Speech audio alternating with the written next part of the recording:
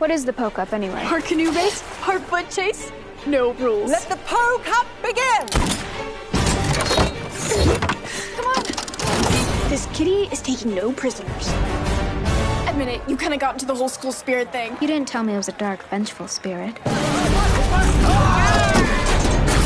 what's going on? I just asked myself, WWWD. What would Wednesday do?